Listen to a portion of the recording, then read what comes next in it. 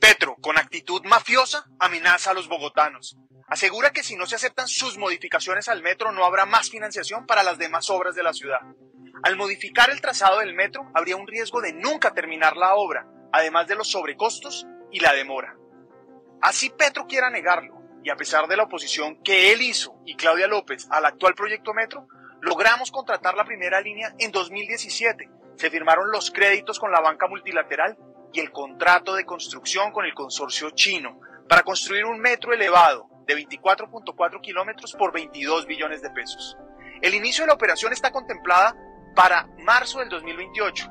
Sin embargo, Petro pretende modificar el proyecto, lo cual implica un mayor costo, más tiempo de construcción y un riesgo de nunca terminar la obra. Sin fundamento técnico, el presidente insiste en hacer subterráneo una parte del trazado, lo que podría demorar el inicio de la operación del metro en 10 años con un costo adicional de 17 billones. Una vez más, se hace evidente el talante autoritario de Petro y la improvisación de su gobierno. Estos son los problemas jurídicos de modificar el contrato del metro. Primero, modificar las especificaciones técnicas del contrato sin un hecho sobreviniente que lo justifique implica violar el principio de selección objetiva, de planeación y de transparencia. Segundo, la modificación que pretende el gobierno aumentará los costos de tal manera que se debe renegociar con la banca multilateral y seguramente excederá el 50% del valor del contrato, lo cual es ilegal. Tercero, asumiendo que fuera posible la renegociación con la banca multilateral, generaría costos adicionales. El riesgo país que hoy evidencian los mercados implicaría un 80% más del costo de financiación. Cuarto, si el concepto con el que el gobierno pretende modificar la primera línea del metro se aplicara a todos los contratos de infraestructura, Petro estaría justificando, por ejemplo, las modificaciones del contrato de Odebrecht, Ruta del Sol 3, uno de los escándalos más grandes de corrupción del país. Eso sin contar el detrimento al que estaría sometiendo a Bogotá. Finalmente, es inadmisible que por un capricho de Petro, sin fundamento técnico, se pretenda una modificación unilateral del contrato, esto socava la seguridad jurídica y pone en tela de juicio el soporte técnico de los estructuradores del proyecto a nivel nacional y distrital, así como los equipos de expertos de la banca multilateral que avalaron el proyecto. Presidente, basta de caprichos, concéntrese en la ejecución de la primera línea del metro y contrate la segunda. Su irresponsabilidad condenará a los colombianos a malgastar recursos fundamentales para la inversión social y acabará con el sueño de las demás regiones de tener sistemas de transporte público eficientes y dignos.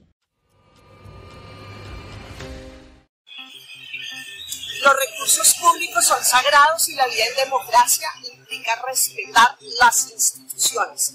La nación y el distrito durante años, más de cinco décadas, se demoraron para lograr llegar al contrato y a la construcción del metro. Estamos listos para abrir la licitación del metro subterráneo a Suba y Engativá gracias al trabajo de estos tres años, primero con el gobierno Duque para garantizar la financiación y ahora con el gobierno Petro, que ya hizo el CONFIS el año pasado, que ya hizo aprobar en el Congreso el crédito y está lista la ciudad para abrir la licitación de ese metro subterráneo suba y engativa.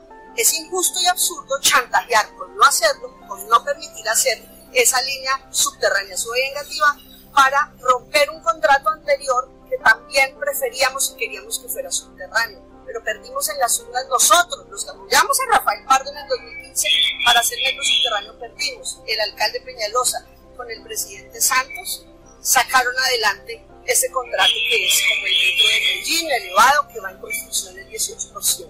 Yo también lo prefiero subterráneo, pero no estamos hablando de plata de cortinas de la casa, sino de las obras de infraestructura más grandes del país. Presidente Petro, a usted y a Bogotá le jugaron feo y le hicieron daño.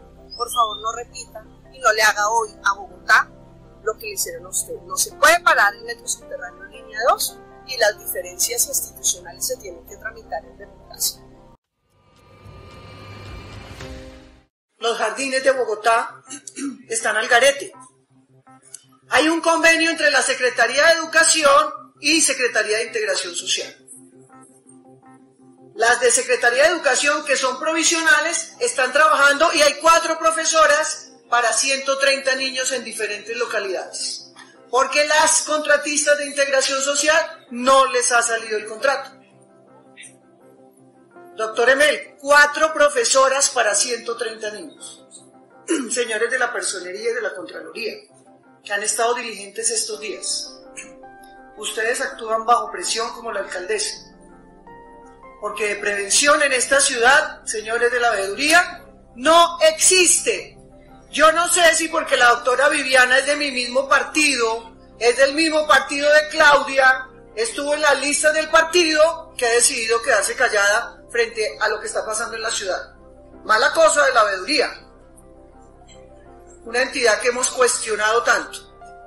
Así que tienen la tarea y quiero de los tres organismos de control información frente a lo que está pasando en los jardines. Uno son los que operan directamente, que no están con todo el personal. Dos, los que están con Secretaría de Educación y Secretaría de Integración Social, que solo están las profesoras de Secretaría de Educación, no hay personal de nutrición, ni psicólogas, ni administrativos, ni absolutamente nada. Y tres, los de convenios con las cajas de compensación familiar, que tampoco. Pero si usted va y mira por habitantes de calle, tampoco. Pero si usted va y mira con adultos mayores, tampoco. En la unidad del camino que atiende personas habitantes de calle, cuatro personas, sin psicólogo, sin nutricionista, sin gestoras sociales, para atender 80 habitantes de calle. Esa es la realidad que vengo denunciando de la Secretaría de Integración Social. Claudia, ponga la cara, conteste. ¿Dónde está? Claudia se quedó callada frente a lo que pasa con la oferta social en esta ciudad.